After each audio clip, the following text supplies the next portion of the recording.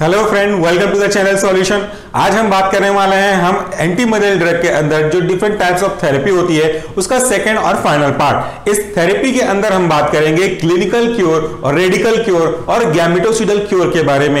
यानी कि तीन ऐसे इंपॉर्टेंट स्टेप्स डिफरेंट तरीके जिसको फॉलो करके हम मलेरिया के जो इन्फेक्शन है, उसको कम और पूरी तरह से बॉडी से बाहर निकाल सकते हैं. सबसे पहले इस वाले व्हाइट बोर्ड सेक्शन में हम बात करेंगे क्लिनिकल क्योर के बारे में.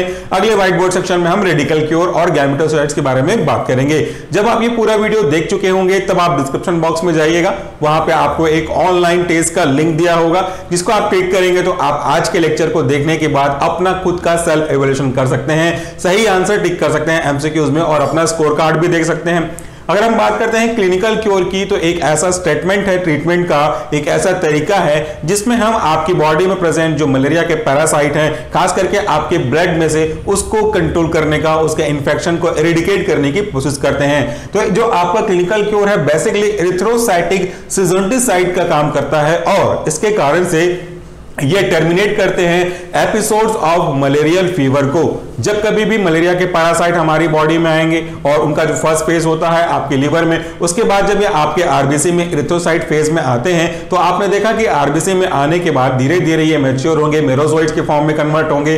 और एक पर्टिकुलर टाइम बाद सपोज़ 48 आवर्स या फिर अकॉर्डिंग दूसरे डिफरेंट टाइप ऑफ़ 72 आवर्स ये जब आगे जाकर के बर्स्ट होंगे तो बर्स्ट होने के कारण से हमारी बॉडी में साइटोकाइंस रिलीज़ होते हैं। और यही साइटोकाइंस आगे जाकर के इन्फ्लामेशन के लिए पेन के लिए फीवर के लिए और बाकी कुछ चीज़ों के लिए स्टार्टिंग मटेरियल के रूप में काम करते हैं और हमारी बॉडी में फीवर जनरेट होता है। तो ये जो फीवर का जनरेशन हुआ एक्चुअली इसके पीछे का रीजन यही है bursting of RBC just because of over production of merozoite inside this RBC तो ये आपके फीवर को स्टार्ट करते हैं और अगर हम इसी को रोकना चाहते हैं तो क्लिनिकल क्योर के अंदर एरिथ्रोसाइटिक का काम करते हैं, जो उनमें प्रेजेंट पाए जाने वाले जो प्रोटोज हैं, उनको खत्म करेगा। इसके अंदर अगर हम इफिकेसी के बारे में बात करें तो इस ड्रग को, यानी कि एफिकेसी वाले ड्रग को दो तरीके से अपन बोल सकते हैं। पहला होगा आपका हाई एफिकेसी ड्रग और दूसरा होगा आपका लो एफिकेसी ड्रग अब ये तो बहुत कॉमन सी बात है, इसका मतलब आप जानते होंगे हाई एफिकेसी ड्रग कहने का मतलब ऐसे ड्रग के ग्रुप से है या ऐसे ड्रग के एग्ज़ाम्पल से है जो कि एंटी मलेरियल ड्रग के लिए क्लिनिकल क्योर के लिए काफ़ी ज़्यादा इफ़ेक्टिव होंगे। और लो एफिकेसी का मतलब उससे जो पहले आप देख रहे हैं, उसकी तुलना में कम इफिकेसी होंगे। सो जो हाई इफिकेसी ड्रग है, इसके एग्ज़ाम्पल भी आपको याद रखने चाहिए, क्योंकि ये आपके फार्मासिस्ट के एग्ज़ाम में काफ़ी पूछे जाने की संभावना है इस तरह के पैथोफिजियोलॉजी को टच करने वाले सब्जेक्ट के अकॉर्डिंगली तो यह आपके आरटी मिसिनिन एक बहुत ही इंपॉर्टेंट ड्रग है, जिसको आगे जाकर देखेंगे आप artemisinin in combination therapy के रूप में भी यूज़ होगा, और केडी पार्टी में इसका एक डिटेल से टेबल भी दिया है, हम उसको यूज़ नहीं कर रहे हैं, लेकिन आप उसको देख सकते हैं। आरटी मशीन के बाद क्लोरोक्वीन आएगा, वो भी बहुत इंपॉर्टेंट है। क्लोरोक्विन के बाद एमोडीक्वीन और क्विनिन ये बहुत ही इंपॉर्टेंट कैटेगरी के ड्रग में से हैं। क्यों इंपॉर्टेंट हैं? क्योंकि ये हाई एफिकेसी ड्रग के एग्जांपल हैं। साथ साथ देखिए, आप मेफ्लोक्विन और हेलोफेंट्राइन ल्यूमेफेंट्राइन एटोवाक्विन ये जो ड्रग्स हैं, वो इस क्लास को रिप्रेजेंट करते हैं। अगर हम बात करें कि इनकी खास बात क्या है तो बहुत इंपॉर्टेंट है।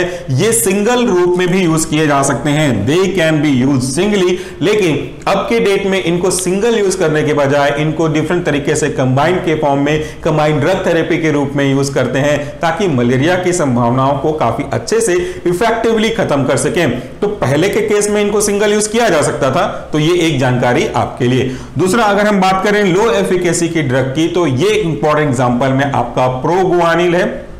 प्रोगुआनिल के साथ आप देखिए पायरीमिथामीन है सल्फोना सल्फोनामाइड्स है। सल्फोनामाइड्स को आपने कई बार पढ़ा हुआ है। एंटीमाइक्रोबियल ड्रग के अंदर भी हमने इसको पढ़ा हुआ है। इसके बाद देखिए टेट्रासाइक्लिन ये भी एंटीबायोटिक का बहुत इंपॉर्टेंट एग्जांपल है। सल्फोनामाइड का हो गया टेट्रासाइक्लिन का हो गया, इनका मैकेनिज्म ऑफ़ एक्शन तो हमने ऑलरेडी डिस्कस करा ही है। तो आपके लिए आधा एडवांटेज वहीं से निकॉल हो सकता है। यहाँ पे आप उस चीज़ को यूज़ कर पाएँगे। इसके साथ देखिए क्लिंडामाइसिन ये भी यूज़ हो गया are use only in combination तो एक छोटा सा डिफरेंशिएट आपको दिख रहा होगा पहले वाले हाई इफेकेसी और अभी वाले में दैट इज़ पहले वाले को यूज़ किया जा सकता था सिंगल बट प्रीफर किया जा रहा है अब कंबाइंड में। लेकिन कंडीशन अप्लाइड है सेकंड वाले के साथ कि इनको ओनली वर्ड लग गया है तो इनको हमेशा कॉम्बिनेशन के फॉर्म में यूज़ किया जाएगा। तो ये एक इनकी खास बात हो गई। आगे हम बात करते हैं तो एक नोट का। ये नोट आपके लिए जानना ज़रूरी है। देखिए faster acting drugs are preferred in plasmodium falciparum पहले इस बात को समझ लें, फिर आगे बढ़ते हैं। मलेरिया के रिस्पॉन्सिबल जो प्लाज्मोडियम है, उसके कई तरीके से हैं। पाँच हैं। पाँच में से हमने चार के मेन के रूप में डिस्कस किया था। Plasmodium falciparum plasmodium ovale plasmodium आपका मलेरिया और इस तरीके से जो वाइवेक्स कैटेगरी के प्लाज्मोडियम है, वो काफ़ी अलग अलग तरीके के सिम्टम्स दिखाते हैं। कुछ रीलैप करते हैं, कुछ रीलैप नहीं करते, कुछ बहुत ज़्यादा डेंजरस होते हैं। उनमें से सबसे डेंजरस में जो आएगा, वो आपका प्लाज्मोडियम फैल्सिफेरम का ही है। ये बात भी रिपीट कर रहा हूँ कि ये 90 परसेंट डेथ रेट के लिए रिस्पॉन्सिबल होता है, अगर पॉपुलेशन के बारे में बात करें। सो इस तरह के जो ड्रग है फास्टर एक्टिंग ड्रग है, इनको प्रेफर किया जाना चाहिए, क्योंकि ये जो टाइप है आपके मलेरिया का फैल्सिफेरम वो बहुत डेंजरस है।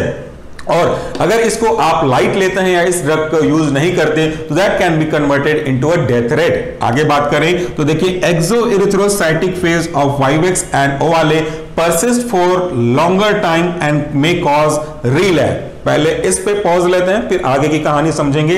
दो चीज़ें आप यहाँ पे जानने लायक हैं जो आपको पिछले वीडियो से समझ में आएगी।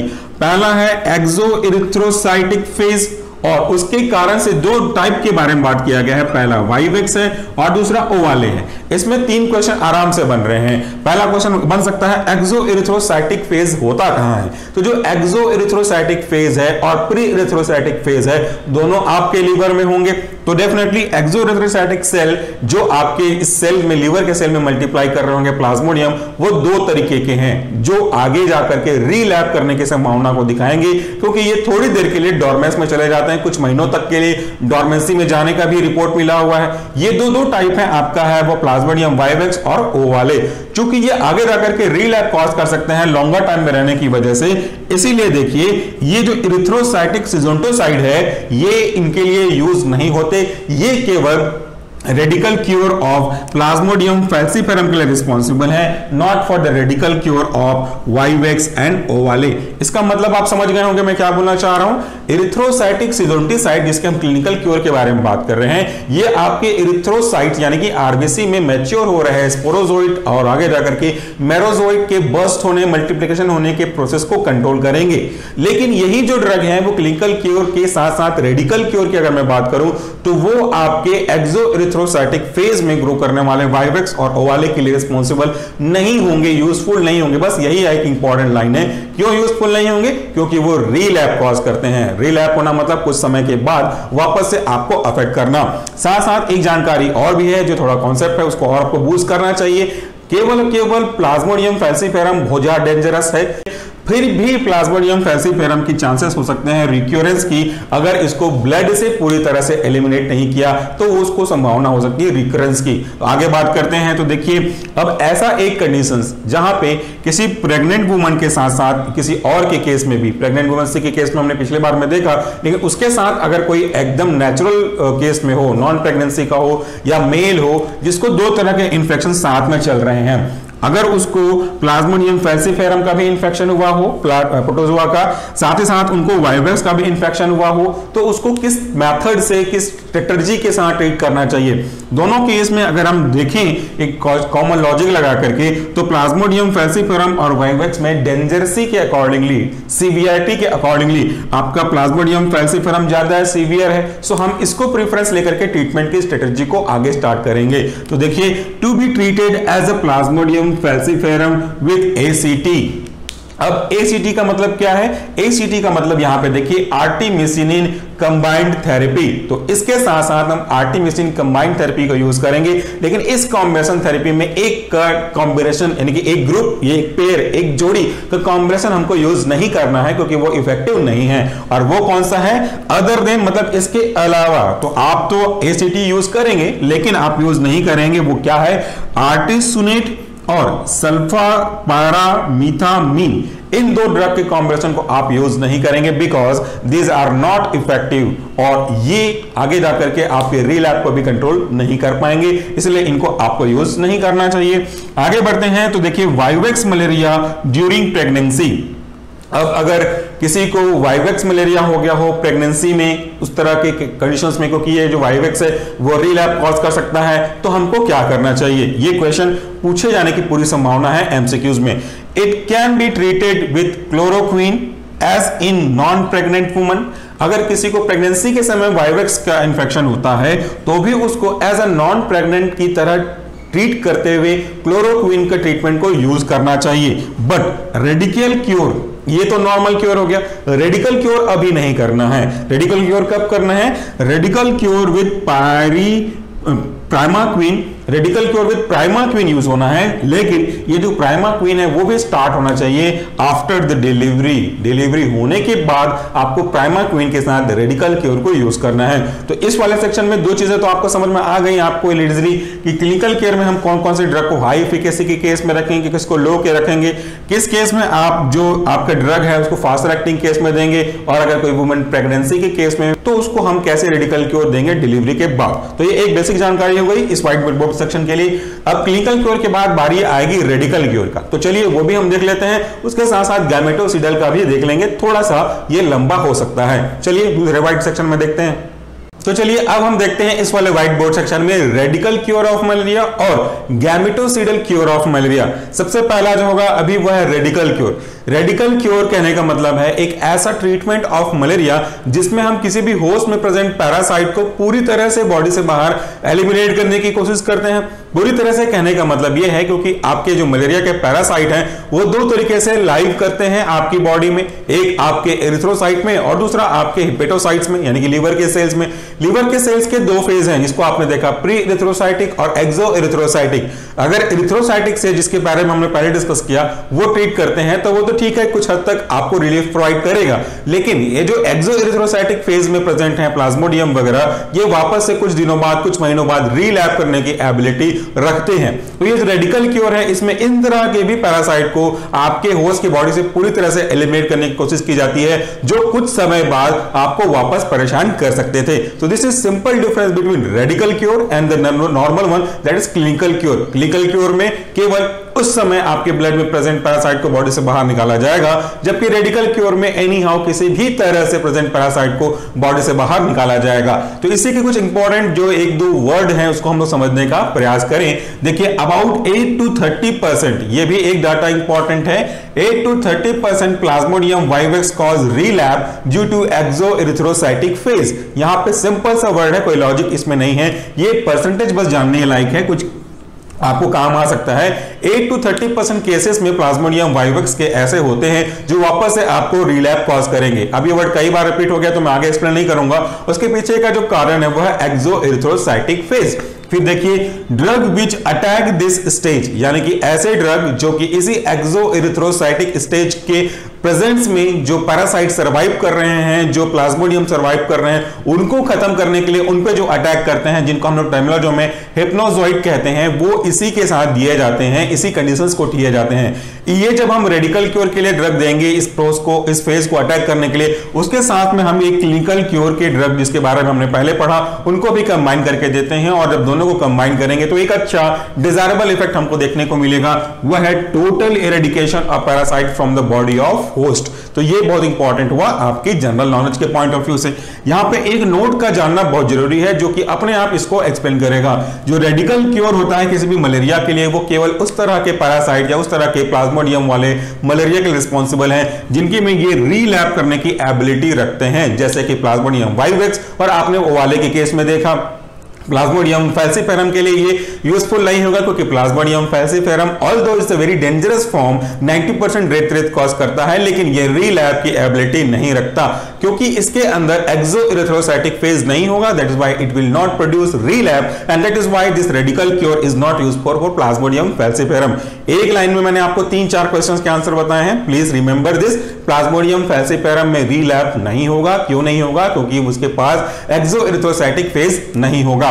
अगर हम बात करते हैं ड्रग ऑफ़ चॉइस कौन कौन से रखेंगे? अगर किसी को इस तरह के रेडिकल क्योर कराना हो, पूरी तरह से पैरासाइट को वापस निकालना हो तो ड्रग ऑफ़ चॉइस में अलग अलग कंडीशंस हैं जिनको आपको मेन एग्ज़ाम से ज़्यादा कॉम्पिटिशन एग्ज़ाम के पॉइंट ऑफ़ व्यू से सुनना और देखना चाहिए, ताकि आगे जाकर के जब आप डिस्क्रिप्शन में क्लिक करेंगे तो आप इसी टॉपिक का व्हाइट बोर्ड सेक्शन का, दोनों का ऑनलाइन टेस्ट फ्री में देख सकते हैं और अपना स्कोर चेक कर सकते हैं। तो देखो प्राइमर क्वीन है, उसका हमको 15 एम डेली देना होगा। कब तक देना होगा? 14 डेज़ तक देना होगा। यह डाटा ज़रूर याद रखिएगा। तो 15 M daily for 14 days concomitantly और विथ और इमीडिएटली आफ्टर क्लोरोक्वीन इसका क्या मतलब है? ये दो ड्रग का क्वांटिटी देना हो गया आपको, या तो आप इस ड्रग के क्वांटिटी को प्राइमाक्विन का साथ साथ दे दें, या तो इमीडिएटली आफ्टर क्लोरोक्विन जब क्लोरोक्विन का ट्रीटमेंट चलेगा, उसके तुरंत बाद आपको यह देना होगा, या तो आप इसके साथ साथ दे सकते हैं। और अदर सीजेंटोसाइट, जो आपके और इरिथ्रोसाइटिक जो सेल हैं, इनमें प्रेजेंट पैरासाइट हैं, उनको खत्म करने वाले ड्रग के साथ मिला करके दे सकते हैं।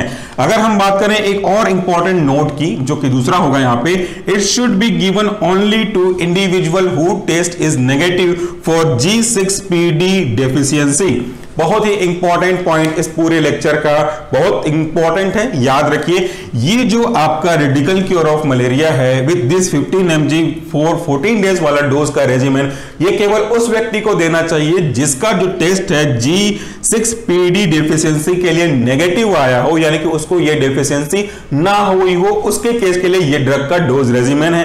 तो अब ये भी पूछना चाहिए, या ये भी जानना चाहिए कि जी सिक्स पीडी डेफिशिएंसी है क्या? इसका पूरा नाम पहले देख लीजिए, इसको बोलते हैं glucose six phosphate dehydrogenase deficiency it is enzyme इस एंजाइम की डेफिशिएंसी इसकी वजह से क्या होता है? यह भी जान लीजिए, ये एक ऐसा कंडीशन है in which RBC break down ये एक ऐसा कंडीशन जिसमें हमारा जो आरबीसी है, वो ब्रेक डाउन हो जाता है in the response to either medicine infection और ये दोनों कॉज के कारण से जब आपका आरबीसी रप्चर होना शुरू हो जाए डिस्ट्रॉय होना शुरू हो जाए ब्रेक डाउन होना शुरू हो जाए तो ऐसे ही कंडीशन को हम बोल सकते हैं जी सिक्स पीडी डेफिशिएंसी और इसके कारण से क्या होगा? जब कभी भी हम मलेरिया के ठीक करने के लिए रेडिकल क्योर को ड्रग लेंगे इर्थोसाइटिक ड्रग ले लेंगे सीजोटोसाइट ड्रग लेंगे तो ये आपकी बॉडी में उस डेफिशिएंसी की वजह से आरबीसी को रप्चर कर देना शुरू करेगा, आपका डिस्ट्रॉय करना शुरू करेगा। ना केवल ड्रग के प्रेजेंस में, बल्कि किसी और तरह के इंफेक्शन के केस में भी ये आपके आरबीसी को डिस्ट्रॉय करेगा। तो ये एक ऐसा मेजर प्रॉब्लम है। इसको अगर किसी व्यक्ति को हो तो उसको इसको 14 15 एम और 14 डेज़ का ड्रग शेड्यूल नहीं फॉलो करना चाहिए। और ये जो आपका जी सिक्स पी डिफिशियंसी है, ये आपका जेनेटिक डिसऑर्डर है और बेसिकली ये मेल में ज़्यादा अफेक्ट करता है एज कंपेयर टू फीमेल में। तो फिर जिसको ये प्रॉब्लम हो, उसके लिए ड्रग का रेजिमेंट क्या होना चाहिए? यहाँ भी हमने लिखा हुआ है इन सच पेशेंट यानी कि in G six P D deficiency people हमको 0.75 mg per KG once a week for 8 week ये जो ड्रग का डोज का रेजिमेंट है, ये हमको फॉलो करना चाहिए। अगर अच्छे एग्ज़ाम की तैयारी कर रहे हैं तो ये जो दो क्वेश्चन बन रहे हैं, ये आपसे ज़रूर पूछे जाने की संभावना होगी। या हो सकता है कि ऑलरेडी कहीं पूछा गया हो, जब आप इसको पार्टिसिपेट कर रहे हो।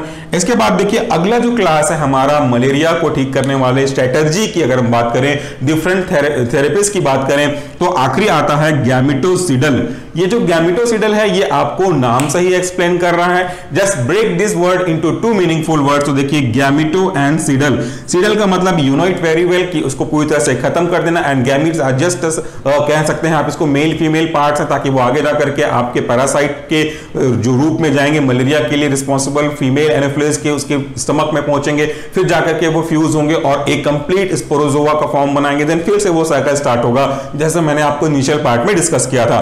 तो ये अगर ह्यूमन के ब्लड में ये मेल फीमेल गैमिट बन रहे हैं, जो आगे जाकर के स्पोरोजोआ बना सकते हैं तो क्यों ना हम इसको यहीं पे खत्म कर दें? लेकिन इस तरह के ट्रीटमेंट का एक दिक्कत क्या है, वो भी आप जान लें, बड़ा इंटरेस्टिंग पॉइंट है। क्योंकि ये मैन में ह्यूमन में मेल और फीमेल के बनने के प्रोसेस को और उसके ट्रांसफ़र के प्रोसेस को अफेक्ट कर रहा है। इससे हमारा या जिसको प्रॉब्लम हुई है मलेरिया की, उसको कोई बेनिफिट नहीं मिलने वाला। क्यों नहीं मिलने वाला? क्योंकि वो ऑलरेडी हो चुका है उसको इन्फेक्शन एडवांटेज क्या होगा कि इस तरह के जो और ट्रांसमिशन हो सकते थे, एक मलेरिया के रिस्पॉन्सिबल इस तरह के पैरासाइट ह्यूमन होस्ट से मॉस्किटोज में देन फिर मॉस्किटो से किसी हेल्थी ह्यूमन बींग में तो उसका जो ट्रांसमिशन है, इसको आप इनिबिट कर रहे हैं। उस व्यक्ति को मेजर एडवांटेज नहीं होगा, जिसको ऑलरेडी इंफेक्शन हो गया है। ये किसी और की मदद करेगा। But it is also important strategy और थेरेपीज इसमें देखिए गैमिटोसिडल के अंदर हम बात करते हैं तो elimination of male and female gametes from the human host और इसके बारे में जो मैंने आपको ग्रीन कलर का हैज़ लगाया है, वो इसी बात को रिप्रेजेंट कर रहा है कि it is not useful for the particular person but it is just useful to prevent the transmission of this disease उसके बाद देखिए प्राइमाक्विन यहाँ भी एक इंपॉर्टेंट ड्रग के रूप में होगा। Primaquine is a gametocidal for all species of plasmodium जो प्लाज्मोडियम के लगभग काफ़ी सारे स्पीसीज हमने डिस्कस किए चार के बारे में। Plasmodium falciparum plasmodium vivax plasmodium ovale और प्लाज्मोडियम मलेरिया ये जो चार स्पीसीज है मेनली इनके लिए भी एक्टिव होता है आपका प्राइमाक्विन आगे बात करें आर्टिमिसिनिन हैज़ वीक एक्शन जो आर्टिमिसिनिन है, जिसके बारे में हमने कल बात किया था, उसके एक्शन मिक्स टाइप के हैं। वो वीक एक्शन शो करेगा आपके अर्ली स्टेज में, जो इनिशियल लेवल के स्टेज होगा, उसमें तो वीक लेकिन कुछ तो करेगा। लेकिन जब ये स्टेज मैच्योरेशन की ओर बढ़ जाएगा तो मैच्योर स्टेज पे इस आर्टिमिसिनिन का कोई खास इफ़ेक्ट देखने को नहीं मिलेगा। तो ये इसका एक लिमिटेशन कह सकते हैं। इसके बाद देखिए single dose of primaquine is employed immediately after the clinical cure of falciparum to cut down the transmission of mosquitoes ये इनिशियल डोज के बाद तुरंत हम इसको क्लिनिकल क्योर के लिए यूज़ करते हैं साइमल्टेनियसली ताकि ये वापस से जो एक ह्यूमन टू मॉस्किटोज में पहुँचने का रेट है, इसको हम कट डाउन कर दें, इस पूरे साइकिल को हम ब्रेक कर दें। साइकिल को ब्रेक करने का एडवांटेज क्या होता है? क्योंकि अगर ये यहाँ से स्टार्ट होकर के वापस मूव करता हुआ यहाँ पहुंचेगा तो फिर से ये कंटिन्यू चलता रहेगा। लेकिन अगर आप बीच में इंटरप्ट कर देंगे चैन रिएक्शन को इंटरप्ट कर देंगे तो वहाँ से ट्रांसमिशन के प्रोसेस को आप काफ़ी हद तक कंट्रोल कर सकते हैं। So this was a simple एक इंट्रोडक्शन कह लीजिए डिफरेंट टाइप्स ऑफ़ थेरेपीज की। अब एक और मेजर पॉइंट जो कि आपके एग्ज़ाम से ज़्यादा कॉम्पिटिशन एग्ज़ाम के लिए इंपॉर्टेंट है, वह है ये डाटा। अकॉर्डिंगली डब्ल्यू और अकॉर्डिंगली एनवीबीडीसीपी आपका जो ड्रग का डोज का रेजिमेन है, इस तरह से आपकी गैमिटोसिडल के लिए वो अलग अलग है। सिंपली पहले डब्ल्यू की गाइडलाइंस 2015 के अकॉर्डिंगली अगर हम बात करें तो इसको हम 15 एम जी या इसी को बोल लीजिए 0.2 एम जी पर के जी के हिसाब से देते हैं। लेकिन एक और जो संस्था है, जिसको हम लोग बोलते हैं एनवीबीडीसीपी यानी कि national vector borne disease control programme इसके अकॉर्डिंगली अगर हम डोज की बारे में बात करें तो 45 mg और 0.7 mg पर केजी के हिसाब से दिया जाता है। एक जनरल नॉलेज के लिए आपको मैं बोलूँगा केडी त्रिपाठी में इसके जो एब्रीवेशन है, इसको थोड़ा मिस्टेक किया हुआ है। वहाँ पे वी को पहले बी को पहले और वी को बाद में किया है तो इसको आप यहाँ से करेक्ट कर सकते हैं। So this was a simple but yet important for your exam point of view कि हमने बात कर डिफरेंट थेरेपिस्ट के क्या क्या टाइप्स होते हैं। क्लिनिकल क्योर देखा हमने, आपका एक सप्रेसिव रेफ्रोफिलैक्सिस के केस में देखा, फिर रेडिकल क्योर और आपका गैमिटोसिडस के केस में देखे। इसी के साथ हमारा ये जो बेसिक इंट्रोडक्शन का पार्ट था, वो यहाँ पे खत्म होता है। अगले पार्ट से हम बात करना शुरू करेंगे एक एक ड्रग के इंपॉर्टेंट डेफिनेशन के बारे में यूज़ फार्मोकाइनेटिक फार्मोकोडायनेमिक और इंपॉर्टेंटली मैकेनिज्म ऑप्शन के बारे में। आज का जो वीडियो का रेफरेंस है, वो पूरी तरह से लिया गया है केडी त्रिपाठी से। थोड़ी देर बाद आपको पहला व्हाइट बोर्ड सेक्शन और दूसरा व्हाइट बोर्ड सेक्शन का स्क्रीनशॉट लेने का मौका मिल जाएगा। मैं यहाँ से हट जाऊँगा। तो मैं आपसे एक बार और रिवाइज करना चाहूँगा। वीडियो पूरा देखिए और डिस्क्रिप्शन बॉक्स में जाकर के वहाँ पे ऑनलाइन टेस्ट का एक लिंक है। उसको क्लिक करके आज के क्वेश्चंस के लिए पार्टिसिपेट करें और देखें कि आपने कितना समझा हुआ है। So friend that's all for the day thank you very much for watching this video नमस्कार